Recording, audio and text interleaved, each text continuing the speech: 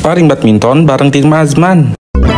Hai guys, jadi hari ini kita mendadak banget nih. Mau main badminton di daerah Bogor. Janjiannya sih jam 3 Cuma biasalah ya orang Indonesia. Ngaretnya bukan karet gelang lagi Tapi karet ban, panjang banget melarnya. Ini gue udah ketemu sama Bapak Azman. Kita pemanasan main raket. Udah lama gak main raket. Ini baru pertama kali lagi guys gue main raket. Ngap-ngapan sering banget istirahat. Maklum gak pernah olahraga sama sekali. Di sini kita memperkenalkan tim kita satu-satu. Mulai dari tim Azmanis Baru tim Amos Kidoy Rata-rata tim Azmanis itu laki-laki ya guys. Dan tim Amos Kidoy itu banyakan perempuan perempuan. Nah, ini kita foto bareng. Seru banget pokoknya tadi main raket. Lumayan bikin banyak keringet ya olahraga raket itu. Mudah-mudahan besok paginya nggak pegel-pegel ya. Setelah pulang dari gor, Azman ngajakin makan bareng nih di rumahnya. Karena buat hindarin macet juga kalau ke Jakarta. Eh, ada Bang Sakil. Juga guys, gemes. Lihat guys, mukanya polos banget. Kita juga numpang mandi ya di rumahnya Azman. Lihat Abang Sakil yang ngasih sabunnya. Makasih ya Bang. Di sini juga kita disediain makanan gitu guys. Ada yang tahu gak namanya apa? Gue sih nggak tahu ya.